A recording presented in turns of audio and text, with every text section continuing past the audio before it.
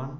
This will be a tutorial on how to draw a rectangle in GIMP uh, which will be filled with color and also has borders and rounded corners.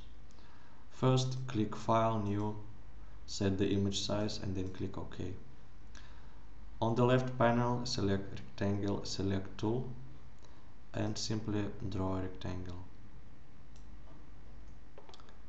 If you want your rectangle to have rounded corners, select it on the left panel and adjust radius, let's say 28 pixels. Now let's fill our rectangle with color. To do that on the left panel click bucket fill tool, change color and then click on your rectangle. If you want your rectangle to have borders, then change a color of your borders and then click edit stroke selection. Adjust line width and say solid color.